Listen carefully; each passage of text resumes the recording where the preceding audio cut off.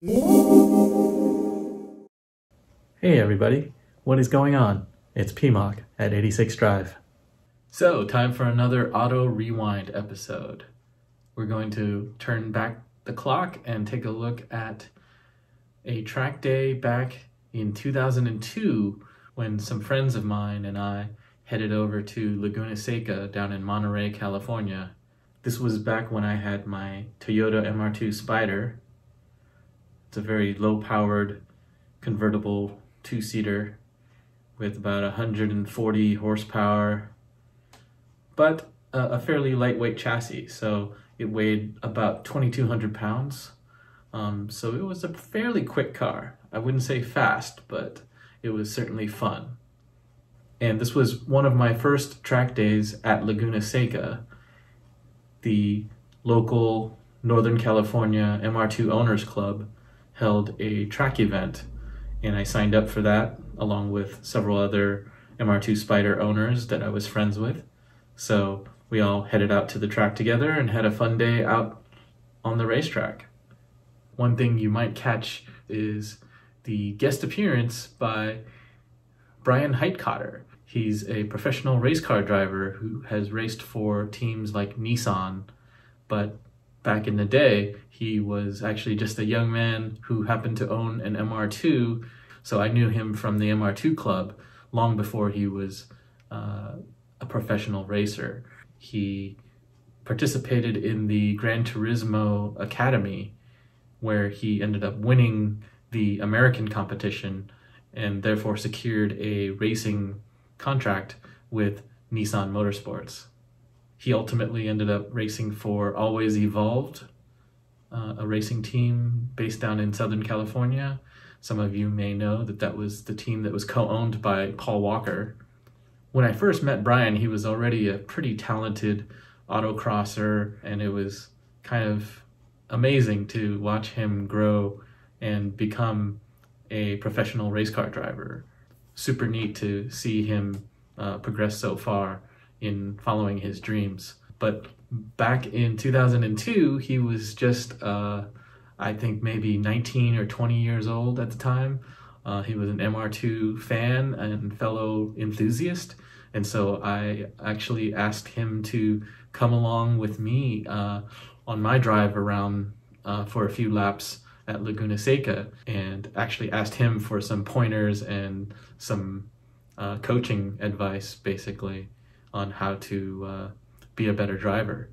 My wife came along and she is the one that filmed most of this footage, so cut her a little bit of slack for the shaky camera work. Um, this is all pretty much amateur level uh, cinematography, if you can even call it that. Well, without further ado, let's get to the video. Enjoy.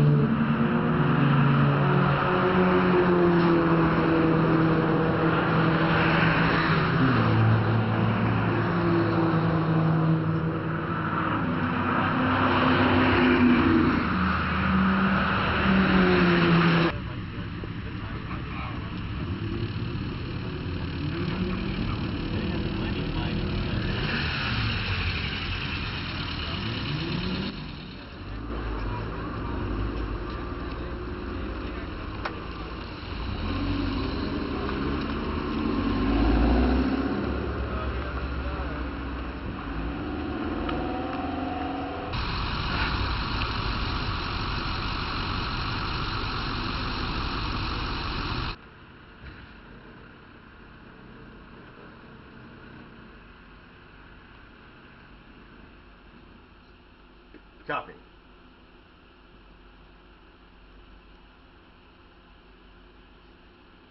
Copy. Copy. Large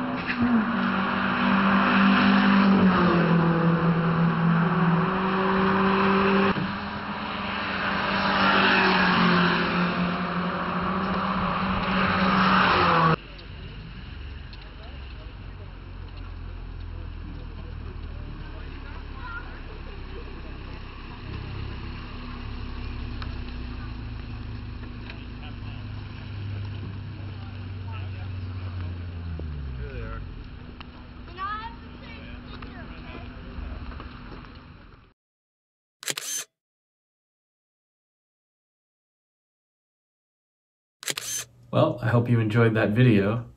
It was fun going back in time and revisiting some of those memories of the early days when I first got a sports car and was taking it to the racetrack. Please like and subscribe if you'd like to see more content. Until next time, stay safe, stay healthy, take care, guys.